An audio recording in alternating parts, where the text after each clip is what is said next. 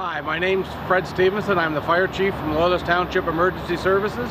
So we're here doing our final inspection of our HP 78 uh, E-ONE aerial truck. Loyalist Township's located in uh, Ontario, Canada, just east of Toronto. So uh, Loyalist Township serves an area, we have a population of about 17,000 people.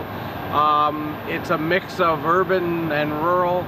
We also cover a 23 kilometer corridor of Highway 401 in Ontario, which is probably Ontario's busiest highway. So we really wanted something that was going to give us a lot of years of service, fairly dependable or very dependable with fairly low maintenance. And in talking to a, a lot of other fire chiefs and fire mechanics around, E-ONE seems to continually rate very high. So during our RFP process, we were very happy when when we were able to uh, purchase an E-ONE truck. We have a lot of four and five story apartment buildings. We have a lot of um, commercial and some small industrial occupancies.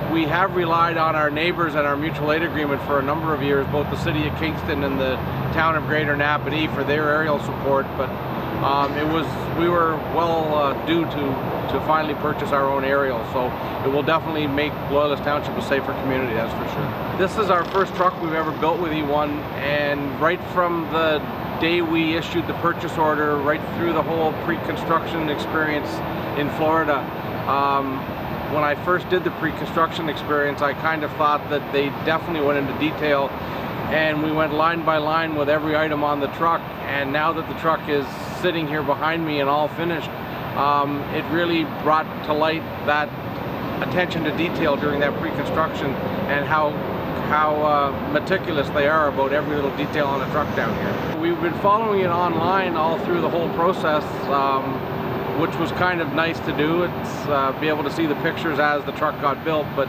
we were still very excited to actually see the finished truck when we got here this morning because some of the features of the truck they definitely don't show online, like all the graphics and that, that we're finally on when we got here. So, and we're very impressed. We've been working on it all morning here, and we. Uh, I think it's the first time I've ever done a, a final inspection of a truck where we really can't find anything wrong with it.